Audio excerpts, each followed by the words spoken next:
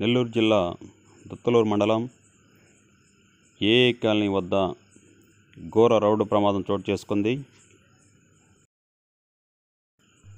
అదుపు తప్పి ఆగి ఉన్న లారీని ఢీకొన్న కారు కారు డ్రైవర్ అక్కడికక్కడే మృతి.